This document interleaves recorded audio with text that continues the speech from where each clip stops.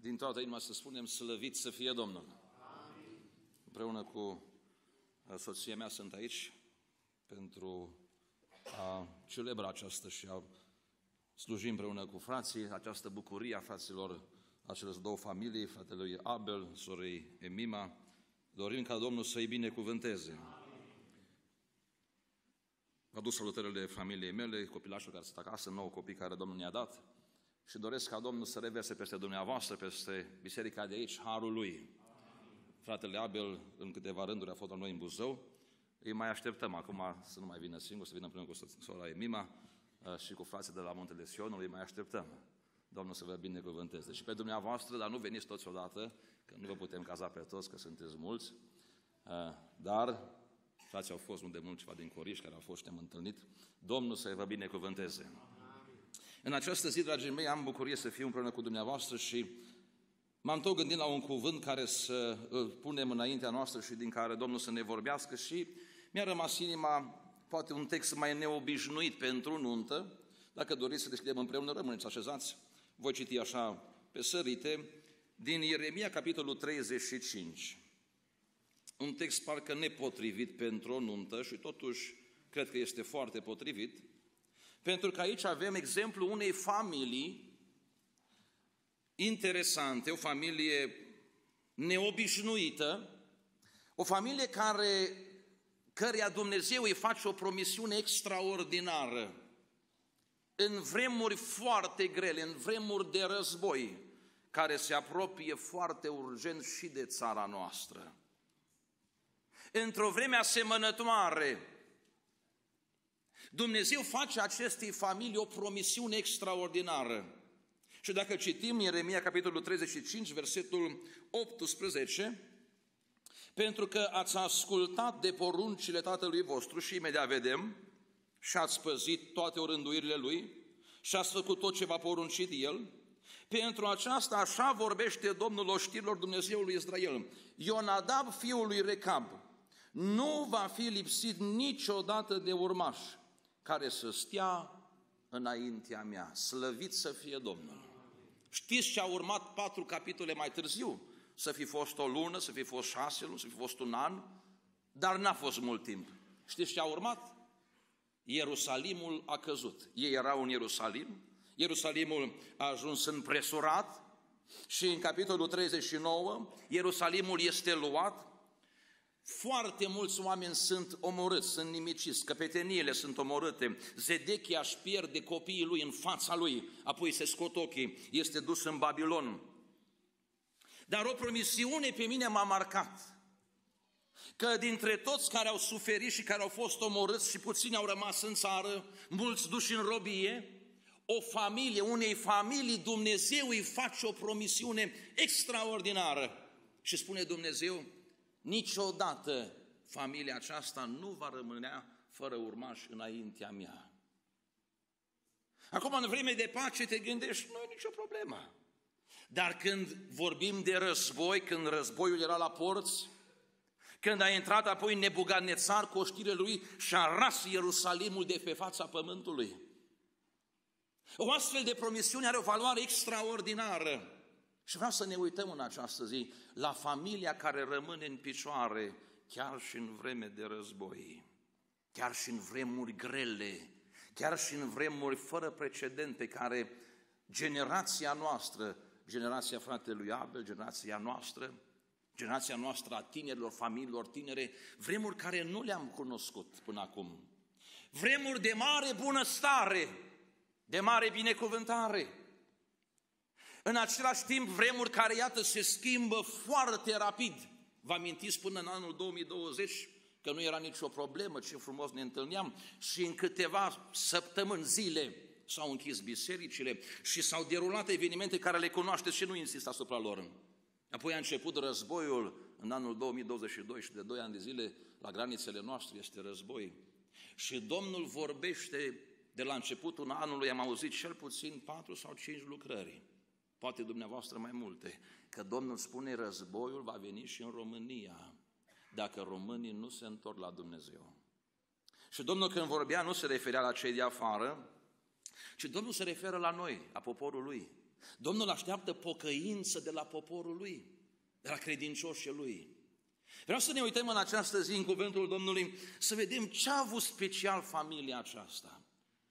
În așa de mare măsură încât Dumnezeu îi dă exemplu în fața unei națiuni și spune în capitolul 35, versetul 13, după ce le pune în față, imediat vedem mai exact, dar spune prin Ieremia, du-te și spune oamenilor lui Iuda și locuitorilor Ierusalimului, nu voiți să luați învățătură ca să ascultați de cuvintele mele? Cuvintele lui Ionadab, fiul lui Recab, care a poruncit fiilor săi să nu bea vin, sunt păzite, căci ei nu beau vin până în ziua de azi și ascultă astfel de porunca tatălui lor. Iar eu v-am vorbit și de vreme și târziu și nu m-ați ascultat. Și Domnul ne vorbește și astăzi, când e vremea foarte târzie. Când lucrurile evoluează de la o zi la alta și dacă cineva își imaginează că NATO ne apără, se înșală. Când Dumnezeu își retrage îngerii lui puși la granițele noastre, nu există bombe și armate și rachete care să ne apere. Singurul care ne poate apăra. Și Domnul a vorbit și a spus că vrea să facă din România un gosen, un, un loc în care să ne păzească, să păzească familiile noastre, să binecuvânteze copiii noștri. Ce har în vreme ca aceasta să-ți vezi copilul, să vezi copiii în față, în liniște și în pace. În urmă cu o lună, jumate sau două luni, eram la Cernăuț, în zona Cernăuț, uh, în ceva slujire acolo, și îmi spuneau frații, trei microbuze cu tineri au fost într-o slujire pe acolo prin jur și când s-au întors din slujire, băieți și fete, i-a oprit armata cu poliția, pe fete le-a trimis pe jos acasă și pe băieți cu tot cu microbuze i-a luat la armată. Știți că asta se poate întâmpla și la noi în țară? Oare în această dimineață ce ne-a împiedicat să venim cu toată inima înaintea Domnului? Am avut îndemnuri mai lungi și rugăciuni cam scurte. Sau n-a fost așa? N-avem pentru ce să mulțumim Domnului? N-avem pentru ce să ne bucurăm înaintea Domnului, să ne zdrobim, să ne smerim înaintea Lui pentru binecuvântarea că încă ne putem strânge în pace și în liniște? Dragii mei, să nu uităm am trăit și trăim vremuri de mare îndurare, dar aceste vremuri sunt pe final. Și Dumnezeu vorbește că dacă poporul lui nu se întoarce, Dumnezeu va schimba vremurile. Iată familia aceasta la care vreau să ne uităm. Ce au avut ei așa special încât pe Dumnezeu l-a marcat? Uitându-mă la Ionadab, despre omul acesta două mențiuni în Scriptură. Aici în Ieremia 35 și prima mențiune în Scriptură se află în doi împărați, acolo unde Iehuș își începe slujirea lui și începe slujirea lui capitolul 10, omorând pe toată casa lui Ahab și ă, așa cum Domnul a poruncit și a vorbit prin prorocul Ilie, Spune cuvântul Domnului 2 Împărat 10, versetul 15, că Iehu plecând de acolo a întâlnit pe Ionadab, fiul lui Recab. Prima mențiune și a doua în Ieremia 35 care venea înaintea lui, l-a întrebat de sănătate și a zis, inima ta este tot așa de curată cum este inima mea față de a ta? Și Ionadab spune, i-a răspuns, este. Dacă este, a zis Iehu, dă mâna. Ionadab i-a întins mâna, i-a dat mâna și Iehu l-a sfit la el în car și a zis, Vino cu mine și vei vedea râvna mea pentru Domnul. L-a luat astfel în carul lui. Ei merg mai departe și Iehu nimicește toți idolii și toate, uh, toți preoții lui Baal cu Ionadab de față. Ionadab, din ce înțeleg din acest cuvânt, fără să intru mult în detalii, că nu avem timp suficient, Ionadab era privit de către Iehu ca un om, ca un stâlp, ca un om reper. Spune Iehu lui Ionadab, vino să vezi râvna mea pentru Domnul. Asta mie îmi spune că Ionadab era un om temător de Dumnezeu. Era un reper în vremea aceea pentru, pentru acest Iehu care a urmat să fie împăratul uh, lui Israel. Ei, dragii mei, omul acesta trăiește niște vremuri complicate. După ani de zile când Ahab duce poporul lui Dumnezeu într-un declin spiritual fără precedent. Până acolo încât Dumnezeu anunță uh, nenorocirea casei lui Ahab și spune cuvântul Domnului în 1 Împărați, capitolul 21, versetul 21. Voi aduce nenorocirea peste tine, te voi mătura. Știți că Iehu a fost de față când a spus Ilie cuvântele acestea? Nu mai am timp să citesc, dar a fost de față. Căutați dumneavoastră dacă doriți. Voi aduce nenorocirea peste tine, te voi mătura, voi nimici pe oricine este a lui Ahab, fie rău, fie slobod. Și voi face casei tale cum am făcut casei lui Roboam. Pentru că mai mâniat și ai făcut pe Israel să păcătuiască. Păi spune despre Izabela cum va, cum va muri. 25. N-a fost nimeni care să se fi vândut pentru ca să facă ce este rău înaintea Domnului, ca Ahab, pe care nevastă sa Izabela îl ațăța la aceasta. Ei, Ionadab trăiește în vremea aceasta, o vreme de mare tulburare, mare confuzie spirituală. Dar Ionadab rămâne ca un stâlp pentru Dumnezeu, ca un reper pentru Dumnezeu. Nu era nici din familii de preoți, nu era nici proroc, nu era nici păstor să fie ceva lider mare, dar Domnul alege pe omul acesta să rămână pentru Dumnezeu, un reper în vremea lui și Iehul ia cu el în carul lui. Uitându-mă la contextul acesta, am stat și m-am întrebat ce a fost în mintea lui Ionadab, fiul lui Recab. Încât el ajunge să dea o poruncă, nu ne spune când a dat-o, doar ne spune că a dat-o, și mă întorc în Ieremia 35, și acum mergem de la versetul 2, unde Ieremia ajunge, ă, aude cuvântul Domnului, du-te la casa recabiților, vorbește cu ei, adu în casa Domnului și dă-le să bea vin. S-a dus, am luat pe Iazania, pe ceilalți din casa, toată casa recabiților, i-am adus la casa Domnului Stru 4 și le-am pus înaintea fiilor casei recabiților niște vase pline cu vin și pahare și le-am zis, beți vin. Măi, dacă zice prorocul lui Dumnezeu, Ieremia era prorocul lui Dumnezeu, unii ar fi putut spune, slăvit să fie Domnul, în sfârșit, cineva ne lasă bem vin. Păi da, tata ne-a poruncit ceva, dar lasă ce a spus tata. Important este că acum a venit prorocul. Uite, prorocul ne lasă. Ei, oamenii aceștia înaintea prorocului Ieremia, un om al lui Dumnezeu. Auziți cuvintele lor. Ieremia 35, versetul 6. Dar ei au răspuns, noi nu bem vim, căci Ionadab, fiul lui Recap, tatăl nostru, ne-a poruncit, ne-a dat următoarea poruncă. Să nu beți niciodată vin, nici voi, nici fiii voștri. Dar nu se oprește aici, că unii cam ține minte doar că n-aveau voie să bea vin. Hai să mergem mai departe. Ce a mai poruncit Ionadab, fiul lui Recap? Și nici să nu zidiți case, să nu semănați nicio sămânță, să nu sădiți vii, nici să nu stăpâniți vii, ci toată viața voastră să locuiți în corturi, ca să trăiți multă vreme în țara în care sunteți străini. Și am stat și m-am întrebat, ce a fost în mintea acestui tată? Să poruncești copiilor tăi să nu bea vin? Pentru noi asta e ușor. Dar să poruncești copiilor tăi să nu zidească case, să nu stăpânească ogoare, să nu samene ogoare. Știți cum erau oamenii aceștia? Acum, explicații multe nu avem, Biblia nu ne spune, în istorie nu prea am găsit date, ă, s-ar spune că era un trib de nomanzi, un, niște oameni, o familie de nomanzi, care mergeau din loc în loc și posibil să fie o explicație.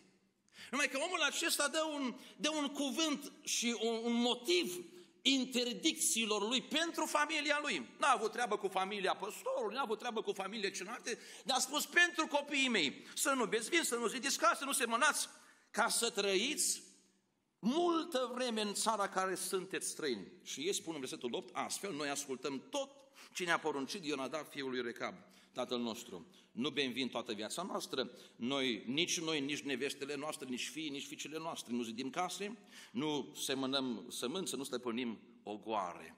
Și păzim, locuim, spune versetul 10, locuim în corturi și urmăm să împlinim tot ce ne-a poruncit tatăl nostru Ionadab. Acum, m-am întrebat și următoarea întrebare, mi-am pus-o. Cât timp a trecut de când a poruncit Ionadab fiul lui Recab? Până când oamenii aceștia stau înaintea prorocului Ieremia în casa Domnului în fața unor vase cu vin. Știți cât timp a trecut?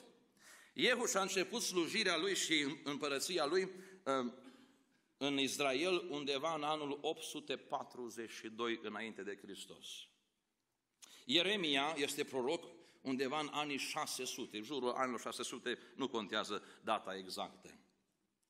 Au trecut aproximativ 250 de ani. 250 de ani. De când Ionada, fiul lui Reca, poruncește copiilor lui de atunci, până când oamenii aceștia stau în fața lui Ieremia și spun, noi, noi nu bem vin, mulțumim frumos, dar nu bem nici nu zidim case, nici nu avem ogoare, nici nu sădim sămânță, nici vii. Nu. 250 de ani. În România, penticostalismul este de 100 de ani, 100 și 1-2 ani. Eu vă întreb, s-a schimbat pocăința în România? Dacă vom fi sinceri, eu știam că la Bucovina pocăința e bună. Nu mai știu că și diavolul, tot diavolul e și aici. Și am văzut că v-ați mai schimbat și dumneavoastră, au început surorile, au început frații cu una, cu alta, cu sprâncene, băieții deja se epilează și altele și altele. Și n-au trecut numai 100 de ani. Familia aceasta, 250 de ani, frații mei. Eu când am m-am uitat, am zis, nu se poate. Păi noi spunem, noi din generație în generație, părinții, uitați-vă la părinții noștri, bunicii noștri, cum au ținut pocăința și slavă Domnului că încă sunt biserici bune și mă bucur pentru nunta simplă și binecuvântată din această zi. Domnul să-i binecuvânteze. Mergi la unele nunți în care îți vine să te întorci, că să pleci. Că numai nuntă duhovnicească nu este. Și astea se schimbă așa de rapid câțiva ani, câțiva zeci de ani și nu mai găsești nimica. Și au zis părinții noștri, nici nu mai știm, nici nu mai contează. Familia aceasta 200, după 250 de ani, ei încă păstrează poruncile, nu tatălui lor, că tatăl lor a fost ăștia, lasă, amintiți aici, stră, stră, stră, stră, stră bunicul lor. Bă, dar ce mai contează ce zis bătrânul? Dumneavoastră cunoașteți numele străbunicilor dumneavoastră? Eu nu prea mi-aduc aminte de ei. Da, a stră, străbunicilor dumneavoastră, îi cunoașteți? Știți cum au arătat? Știți cine au fost? Habar n-avem. Ăștia știau cu 8 generații, 9 generații în urmă. Ionada, fiul lui Recap, ne-a poruncit să nu bem vin. Și acum ne întoarcem la noi. Că nouă Domnul ne-a dat o pocăință pe care să o ținem. Mai întâi în viața noastră, apoi în familiile noastre, apoi în biserică. Nu vi se pare că tare rapid schimbăm hotarele pocăinței? Este un cuvânt în Scriptură, în Proverbe, capitolul 22, versetul 28, unde spune în felul următor, Nu muta hotarul cel vechi pe care l-au așezat părinții tăi. Dar astăzi pentru noi, pentru tineri, pentru copiii noștri, pentru generația tânără, parcă cel mai interesant lucru e să tot împingă de hotar, să tot îl mute. Și aici vreau să spun foarte clar, sunt unii care mută hotarul înspre în afară și alții mută hotarul înspre înăuntru. Eram nu de mult într-o biserică și Domnul a spus că El a pus o graniță, un hotar căii Lui, nimeni nu are voie să schimbe hotarul de nici spre în afară, nici spre înăuntru. Calea Domnului nu trebuie îngustată, nici lărgită. Calea Domnului este bună așa cum e trasată de Domnul Isus. Slăvit să-i fie numele. Ei, nu muta hotarul. După ani de zile să poți să păstrezi. Iată-l pe Ionada, fiul lui Recab, care s-a uitat la conjuncturile din viața lui, din timpul vieții lui. A văzut războiul, a văzut cum împărații erau omorâți, a văzut și atenție, într-o vreme în care oamenii au început să, să-și clădească case, să locuiască în casă și Dumnezeu n-a fost împotrivă, Știți că Dumnezeu nu e împotrivă să avem case, nu e împotrivă Dumnezeu să avem și nu-i predica mea astăzi să vă spun să vă vindeți casele sau mașini, că și eu am și casă și mașină mică și mașină mare, microbus, ne trebuie la copii. Slavă Domnului! Nu asta e predica. Cuvântul este aceasta. Ce l-a, ce l-a mișcat pe Dumnezeu încât promite unei familii, chiar peste război, chiar peste orice ar veni, promite că va avea urmași și va păzi casa aceasta. Știți ce l-a marcat pe Dumnezeu? ascultarea. Ascultarea. Un termen atât de străin parcă astăzi, când e mic copil, ă, fiii noștri, copiii noștri, ei vor să facă ce vor ei. Tinerii noștri, nu mai poți să spui ceva că sare în sus, nu mai vine la cor. Nu mai are chef de repetiții, gata, dacă așa asta e, eu nu mai când, domnule. Și așa de greu să mai asculți astăzi. E așa de greu uneori să spui unor tineri care se căsătoresc să asculte. Și ce frumos este să vezi că ascultă. Știți, ca slujitori, uneori mergi la, câte, la, la o nuntă și nu știi, măi, îmi pun mâinile, nu spui mâinile, ce facem? Dar ce bine și ce, ce simplu este să vii la nuntă, să știi că sunt curați și au păstrat curăția. Ce frumos este! Ascultarea Dumnezeu o răsplătește. Slăvit să fie Domnul! Pentru copiii noștri, pentru tinerii noștri, mai este importantă pentru noi ascultarea? Iată ce a văzut omul acesta, Ionada fiului Recam. Niște valori, niște valori în vremea lui, care a spus el, astea nu sunt valori. Când oamenii alergau dintr-o parte în alta să-și clădească, să strângă averi, să strângă ogoare, un tată poruncește copilor lui, voi să nu aveți nici ogoare, nici case, dar să locuiți în coruturi. Iată, dragii mei, valorile acestea și hai să vă citesc din uh, Deuteronom, capitolul 8. Cum spuneam, Dumnezeu nu este împotrivă să, să avem. Deuteronom, capitolul 8, versetul Spune versetul 5, recunoaște dar în inima ta că Domnul Dumnezeul tău te mustră, cum mustră un om pe copilul lui? Să păzești poruncile Domnului, căci Domnul Dumnezeul tău ar să ducă într-o țară bună, țară cu pâraie de ape, izvoare, lacuri, țară cu grâu, cu ors, cu vii, țară unde vei mânca pâine din belșug, unde nu vei duce lipsă de nimic. Și acum spune în 10, când vei mânca și te vei sătura, când vei mânca și te vei sătura, să binecuvântezi pe Domnul Dumnezeul tău pentru țara cea bună pe care ți-a dat-o. Și iată problema valorilor lumii acestea care au ajuns și la pocăiți. Și cu unele Dumnezeu ne binecuvântează. Numai că atunci când Domnul ne binecuvântează, tindem să uităm de Dumnezeu. Asta e problema. Unul dintre cei mai mari oameni din lumea din ziua de astăzi, unul dintre cei mai înțelepți, vorbind în sensul felului oamenilor, Elon Musk, unul care a creat și uh, Tesla și așa mai departe. Recent spunea și am citit ce spunea acest om, spunea el foarte interesant, cu cât oamenii prosperă financiar mai bine și le merge mai bine, cu atât fac mai puțin copii. Foarte interesant ce a spus. Un om nepocăit. Nu are nimic cu Dumnezeu ăsta. A spus el, cu cât o națiune, cu cât un imperiu, de, de exemplu Imperiul Roman, prosperă și le merge mai bine financiar și ă, așa mai departe, cu atât se reduce numărul de copii și spunea el Imperiul Roman, ă, încă înainte să vină Domnul Isus, aveau probleme că nu mai făceau copii, nu mai aveau copii. Observați la pocăiți după doar 100 de ani aceeași problemă? Părinții noștri, bunicii noștri, N-au avut mașină de spălat, păi de astăzi pui, dacă ai, poți să pui mașină de spălat, peste aia pui de uscat, poți să pui și în stânga și în dreapta, case mari, mașină la scară, avem tot ce ne trebuie. Și mă întreabă tinerii la, la conferințele de tineret, frate, cum aș putea? Și aș putea face când mă căsătoresc să n-am copii? Măcar câțiva ani, să, ne, să avem și noi un timp. Nu e interesant. Frate, e scump. Acum eu știu că e cât e de scump, că eu văd, nu avem nou copii, știu cât s-au scumpit lucrurile. Da, dar Domnul este același.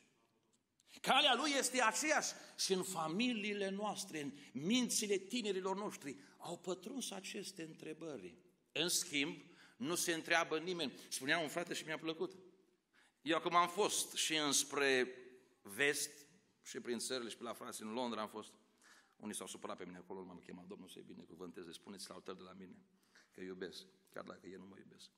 Uh, eu am fost și înspre vest, am fost și înspre est. Dar spunea un frate, foarte interesant că uh, cei mai mulți tineri merg înspre vest și înspre est prea puțini.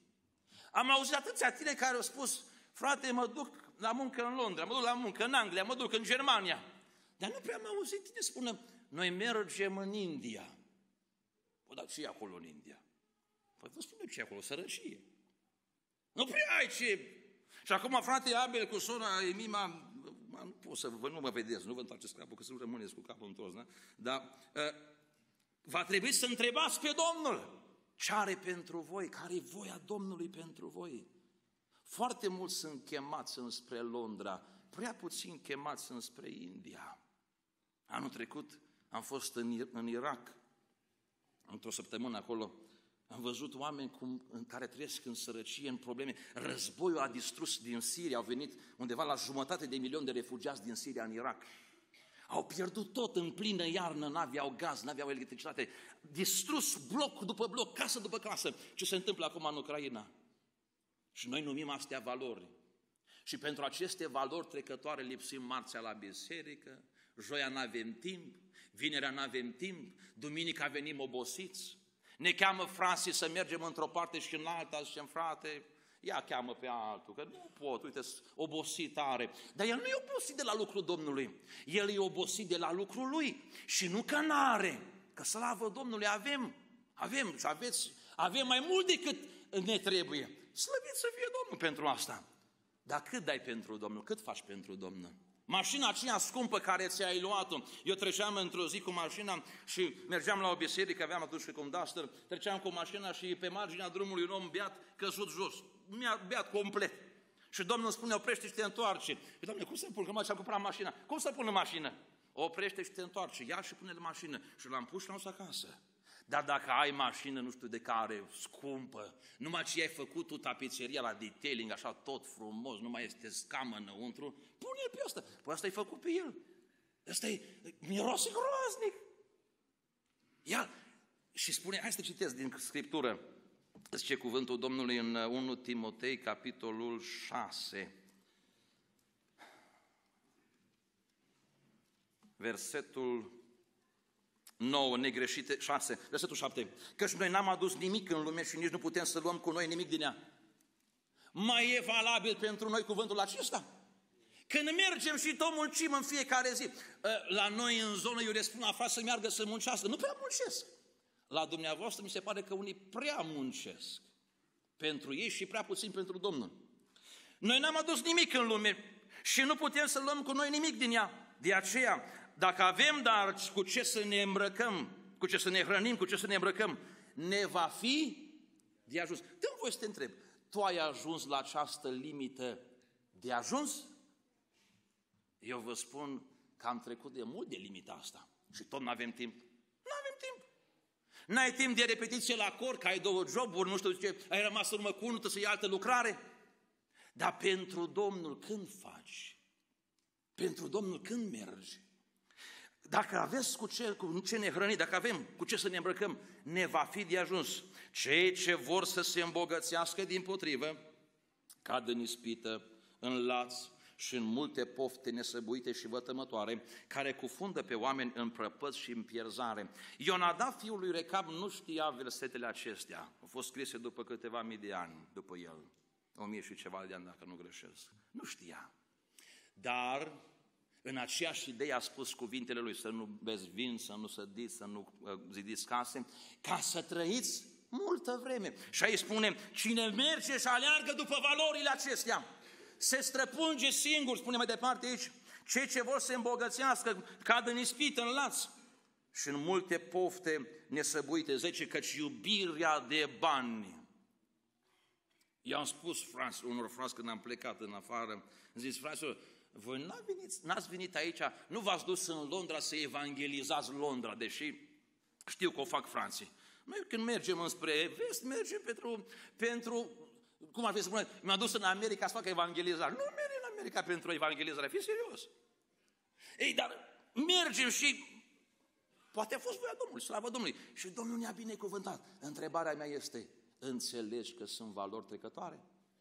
Sunt valori trecătoare. Spuneau, spunea un frate în Ucraina, când a venit războiul, erau doi vecini, un frate pocăit și unul nepocăit. Și omul acesta nepocăit avea mare ciudă pe fratele nostru pocăit, dar când a venit războiul, el avea multe bogății și a strâns înainte să ajungă frontul acolo în, în est, unde era zona Donbass, unde era, era această, aceste două familii, a luat frate, omul nepocăit cheile la apartament și a spus acestui frate pocăit, uite cheile, tot ce e înăuntru și tot apartamentul e al tău eu mi-am luat și mi-a trebuit, plec și aici nu mă mai întorc. Dar cât cheltuim pentru astea? Vedeți, în fața războiului, în fața valului care vine, toate acestea nu mai valorează nimic. Pentru că sunt valori trecătoare. Și unii pentru valori trecătoare își pierd viața, își pierd tinerețea, ajung să facă tot felul de jmecherii, spune iubirea de bani, rădăcina tuturor relelor. Și unii care au umblat după ea, au rătăcit de la credință, s-au străpun singur cu o mulțime de chinuri. Abel și Emima, să fugiți de iubirea de bani și că Domnul va binecuvântat, să binecuvântați și pe alții, să munciți cu mâinile voastre și dincolo de toate să vă implicați în lucrul Domnului. Doamne, ajută! Proverbe, capitolul 23, versetul 4.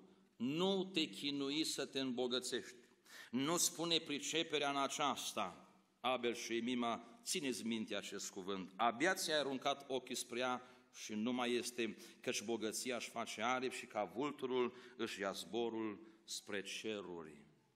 Alergăm după valori trecătoare. Tinerii de astăzi, familiile tinere de astăzi aleargă după valori trecătoare. În urmă cu câteva mii de ani, un tată, Ionadab, fiul lui Recab, a spus familiei lui să nu beți vin, să nu strângeți din comorile acestea, să trăiți toată viața în corturi. Și văzând aceste valori trecătoare, m-am gândit pentru fratele Abel, pentru noi ca bărbați, un cuvânt care Domnul a spus lui Avram, și ce frumos este acest cuvânt, Geneza capitolul 18, versetul 18, căci Avram va ajunge negreșit un neam mare, frate Abel și sora Emima, Domnul să vă facă un neam mare. Și în el vor fi binecuvântate toate neamurile pământului, căci eu îl cunosc și știu care să poruncească fiilor lui și casei lui după el să țină calea Domnului. Tu care ești aici, tată, bărbat, ai dat poruncile acestea în casa ta? Sunt importante pentru tine poruncile acestea? Sunt importante pentru tine să trasezi în casa ta valorile nepieritoare, nu valorile pieritoare. Și eu cred că trebuie să avem o limită la tot ceea ce strângem. Spunea cuvântul Domnului în Eclesiastul, în capitolul 5, dacă nu greșesc, versetul 19. Dar dacă a dat Dumnezeu cuiva avere și bogății, slavă Domnului! Domnul e acela care poate să dea și i-a îngăduit să mănânce din ele. Asta e și mai mare har, că unii au și nu pot să mănânce bolnavi. Să-și ia partea lui. Știi că acolo nu e numai partea ta, e și partea Domnului, și partea săracului, a orfanului, al evangelizării, a misiunii. Să-și ia partea lui din ele, să se bucure că Domnul e acela care ne face bine, slăvit să fie numele. Cât de mult alergăm pentru valori trecătoare, ca bărbați, trasăm în viața copiilor noștri valorile eterne? Trasăm în viața copiilor noștri ceea ce rămâne pentru viața veșnică?